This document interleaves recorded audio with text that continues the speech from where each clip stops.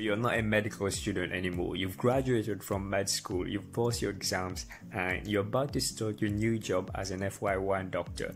It's an exciting opportunity. You've finally made it, and you're going to start your new career as a doctor.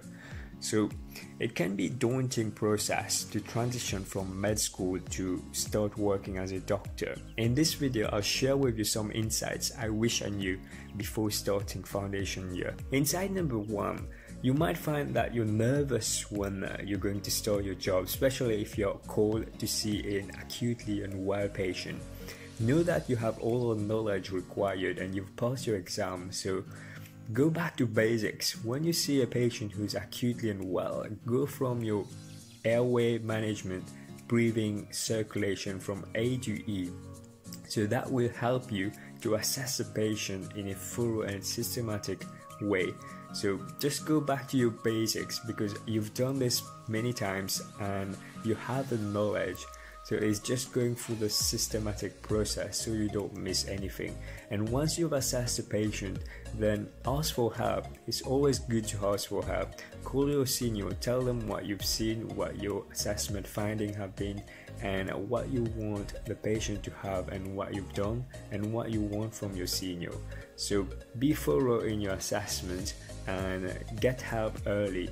If you've done a proper assessment of the patient with A to E assessment, your senior will appreciate that. A good resource I would recommend is to get the Oxford Handbook of Foundation Program. It has a lot of resources about managing acutely ill patients and some useful tips about starting your job as an F1 and how to make the most of your FY1 jobs. So when you're talking about a patient, to a senior member of the team or another colleague, it's always good to have a structure and organize your thoughts before you talk to that person.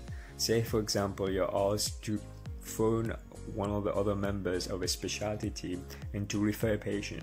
It's always good to gather your thought first and have all the relevant details of a patient at hand. So have a look on the computer system for the latest blood results have a look on in the notes. Make sure that you've read the notes and you know exactly what's the story of the patient. And you will use a model that will help you. Some doctors find the SBAR model work for them. So situation background assessment and recommendation.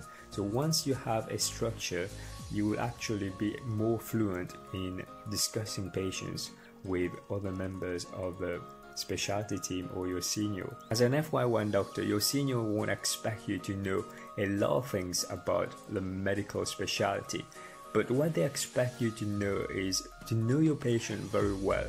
You need to know what's the patient coming with, what's been done investigation wise, and what has been the symptoms and what has been the process since the admission and what have been the results of the patient. So these are the things that as an FY1 doctor you need to know. You may not know a lot about the medicine, but you need to know your patient very well because your senior will expect that you know your patient.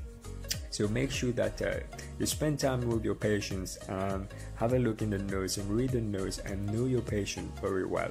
There will be days when you're very busy and you feel overwhelmed. So a good thing to do when you have a lot of tasks is to make a list of the tasks and then to prioritize the tasks in terms of importance and urgency. This is something that's very important to manage your time because there will be tasks that you may not have time to do. And in these cases, it's important that you prioritize the task and do the one that's most important and most urgent first. It's important that you remember the name of your colleagues, the nurses that you're going to work with, because when you need to speak to them, it's always good to address them with the first name. This is something that will help you, and you'll find that when you talk to them with referring them to their first name, that they'll be more willing to help you. So be sure that you remember their name. As doctors, we're good at caring for others, but when it comes to caring for yourself, we could do better. So it's so important that you make sure that you take your break and you keep yourself well hydrated. Because if you don't look after yourself, how could you look after other patients? It's so important that you make sure you take your break, keep yourself well hydrated, and make sure that you don't skip your meals because your meal is important when you're working on calls and nights because you need your energy level to be maintained. So if you're feeling hungry or if you're dehydrated, you won't be productive and you won't be making good decision. So it might feel that you feel guilty or you feel that it's so busy you don't have time. But actually, you need to have this break because it's going to help you to be more productive.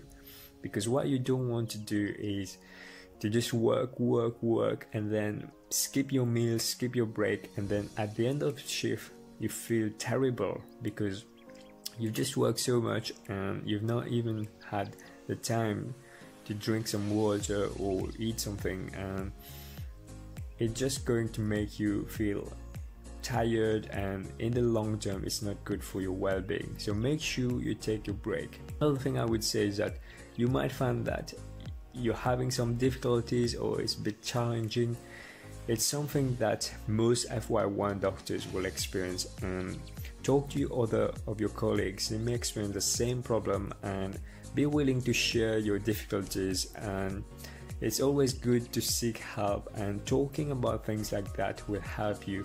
It's just a good thing to talk and to have a shared experience of the FY1 year because it's a tough year. You'll have hard days and do have bad days as well. So there will be good days, but be sure that you have a good support network in the hospital and make sure that you have good support network with your FY1 who can relate to you. And when you have any difficulties, it's always good to know that there are other people in the same boat and will also experience the same experience and uh, it's good to talk about these things and seek help early. If you find that you're struggling there's always help. And if you seek help you will get the support. So seek help from your educational supervisor from other senior doctors or from the program director if need be. So they all help um, make sure that you use this help because what most doctors do is that they suffer in silence and when it comes a bit too late then they will seek help. So seeking help early will help avoid something developing and worsening. Last but not least even if you're busy and have a hectic rota make time to do activities beyond medicine. Activities such as going to the gym, going to a movie, or hobbies that you enjoy doing, or meeting friends, it's so important that you make time to do things outside of medicine because then you'll feel recharged and when you go back to work, you'll feel restored. So it's so important that you make sure that you don't neglect that side of your life. I hope you find this video useful. If you like this video, give it a thumb up and don't forget to subscribe if you've not already subscribed and leave a comment in the comment section. Take care everybody. Bye bye.